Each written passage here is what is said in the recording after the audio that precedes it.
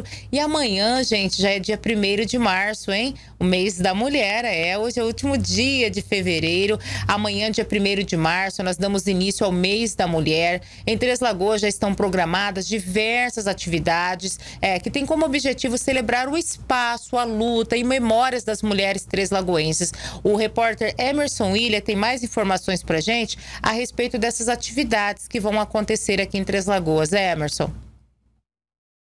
O mês de março é marcado pelo mês de celebração à mulher. E neste dia 8 é comemorado o Dia Internacional da Mulher em todo o mundo. E aqui em Três Lagoas, a Secretaria Municipal de Assistência Social estará promovendo uma série de atividades a serem realizadas já neste próximo mês. Sobre este assunto, eu vou estar conversando com a Gisele Nascimento, que é coordenadora do Centro de Referência de Atendimento à Mulher aqui no município. Gisele, Conta pra gente, quais são essas atividades que vocês estão preparando para as mulheres aqui de Três Lagoas neste próximo mês? Durante o mês de março, nós preparamos atividades do dia 1 ao dia 26. Serão trabalhados já no dia 1 as entrevistas nos canais de comunicação. Do dia 1 ao dia 8, nós iremos ministrar palestras para todos os CRAS da região, a fim de apresentar o nosso serviço e apresentar a campanha.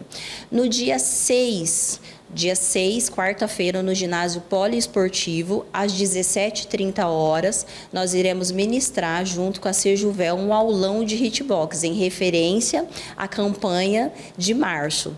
No dia 7 do 3, nós iremos fazer uma palestra junto com a doutora Sabrina, dermatologista, na AEMS, para os estudantes do curso de Direito, o curso de Enfermagem, Odontologia e Estética, a fim de apresentar a campanha de 8 de março.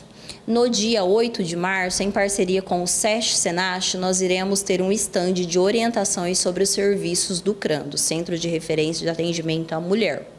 Já no dia 22, nós iremos ministrar uma palestra para a empresa Kids aqui do município, a fim de apresentar os nossos serviços.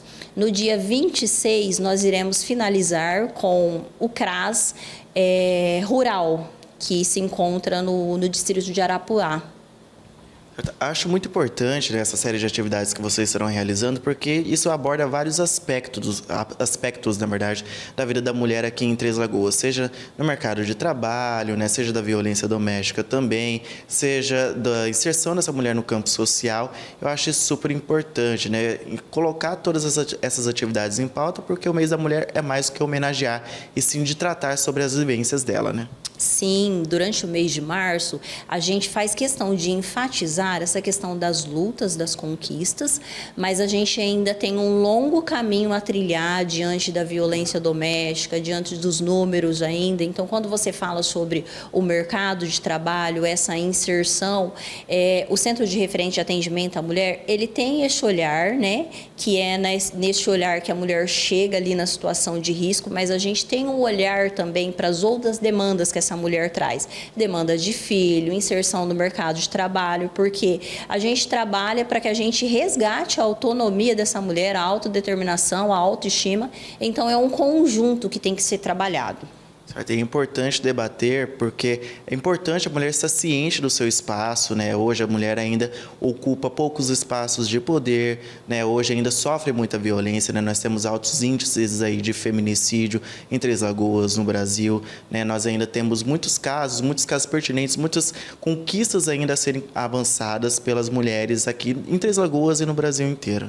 Sim, e o nosso centro de referência ele vem para isso, né? Ele vem para alertar essa mulher sobre as violências, quais são as violências, o ciclo da violência, as pessoas que estão envolvidas. Então, os nossos atendimentos eles são destinados para isso, para que essa mulher ela possa conhecer, né, sobre a violência e ela possa dar prosseguimento num, num, acompanhamento, sair desse ciclo da violência. Certo, Gisele, muito obrigado pelas informações. Então, todos os detalhes sobre essa série de eventos que a Secretaria Municipal de Assistência Social estará realizando neste mês da mulher, você também encontra no nosso site rcn67.com.br. Eu volto com vocês aos estúdios.